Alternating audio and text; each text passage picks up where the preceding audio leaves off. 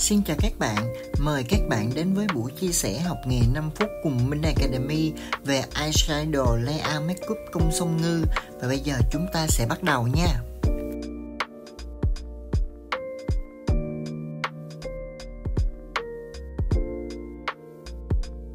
Đầu tiên, Minh Đan sẽ blend đều màu nâu lạnh tờ hốc mắt sâu sau bước che khuyết điểm và kem lót cho mắt.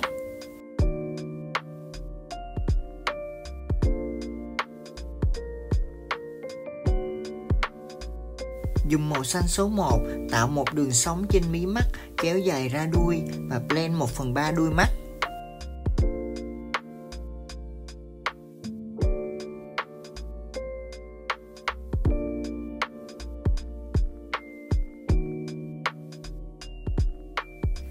Tiếp theo là màu xanh số 2 đậm hơn, blend dưới màu 1, đậm dần ra đuôi mắt và lưu ý là phải trên đường mí mắt thật nha.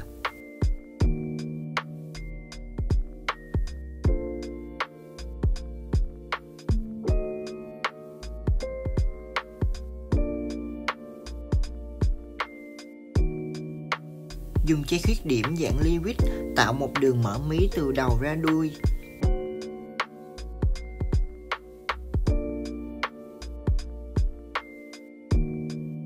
Sau đó dùng màu xanh số 3 nhấn phần đuôi sát chân mi theo dáng eyeliner.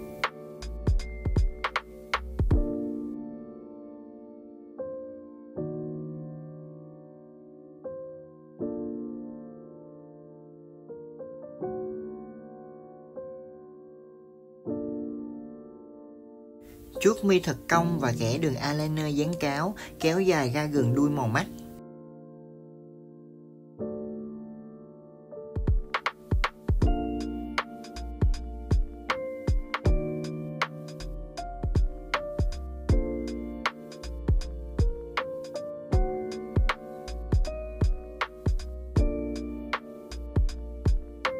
Đối với phần mi, Minh Academy sẽ sử dụng hai loại mi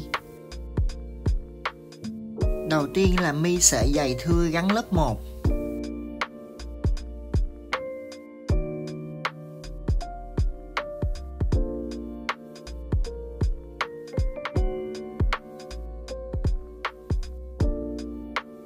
Sau đó là sợi mi dài mỏng được cắt theo từng cụm để điểm lên tạo cho phần mi được đa tầng hơn.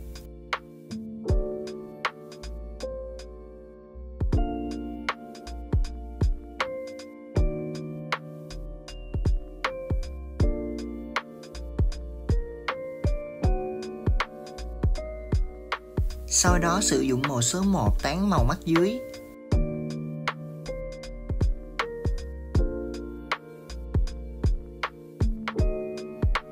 Tiếp theo nhấn màu số 3 vào theo đuôi mắt.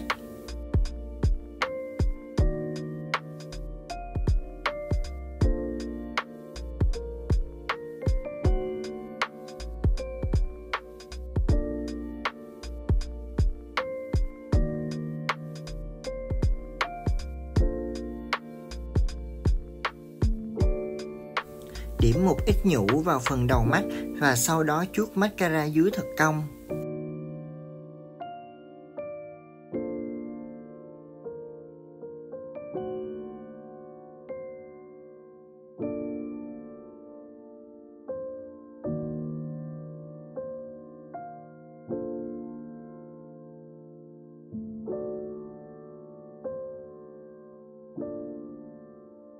Cuối cùng điểm thêm vài hạt ngọc trai và cham đá là hoàn thành xong layout mắt ngày hôm nay.